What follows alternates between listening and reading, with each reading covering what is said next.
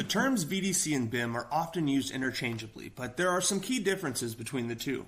BIM is an acronym for Building Information Modeling. It's a digital representation of a site, building, or infrastructure project that is used to manage and communicate information. BIM is exactly what it sounds like. It's the building information modeled. VDC is an acronym for Virtual Design and Construction. The aim of VDC is to utilize the BIM information to optimize the construction process and to provide an integrated approach that connects all stakeholders in one virtual space.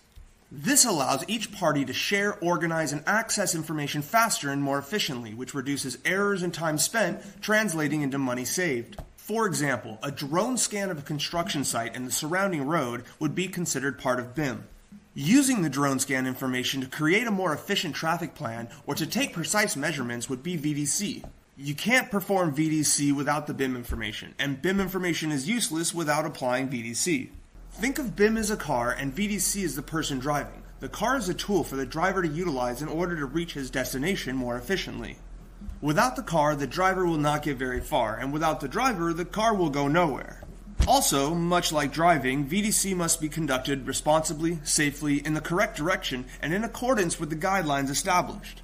The concept of virtual design and construction emerged in the AEC industry in the late 1990s and early 2000s.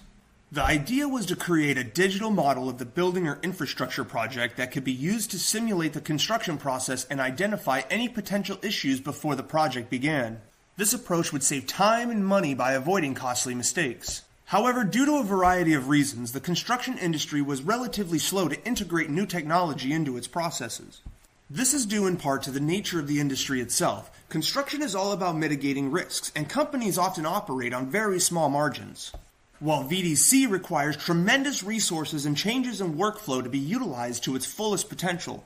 Many construction companies were reluctant to take on the risk that comes with new technology that had yet to prove its value and reliability. However, a few companies were willing to give it a try, and as the technology further developed and VDC practices improved, the construction industry began to realize the potential of VDC. Over time, the use of VDC has become more widespread in the construction industry. The technology has advanced significantly, and it is now possible to create highly detailed digital models of buildings and infrastructure projects. The use of VDC has also become more integrated, with various software and tools available that allow different stakeholders to collaborate and work together in a virtual environment. VDC has become essential for the construction industry as it allows for better planning and management of construction projects.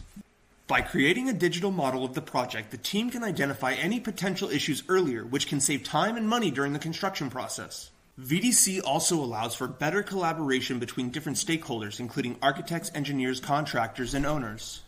This approach ensures that everyone is working together and has access to the same information, leading to better decision making and improved project outcomes. VDC also allows for greater efficiency in the construction process as it eliminates the need for physical prototypes and allows for virtual testing and simulations. It can also lead to better quality as it allows for greater accuracy in the design and construction process. Okay, so now let's recap real quick.